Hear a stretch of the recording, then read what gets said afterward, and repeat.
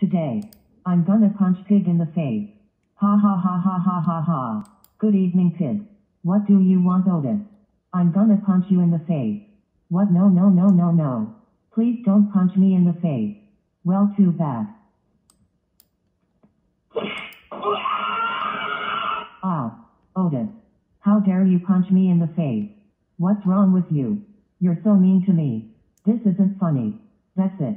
I'm telling Ben about this. Yay. I punched Pig in the face. Yay. I punched Pig in the face. I'm gonna remember this for a long time. There he is, Ben. Your son punched me in the face. Oh, whoa, whoa, whoa. Otis. You're in big trouble now. How dare you punch Pig in the face? That was not very nice at all. That's it.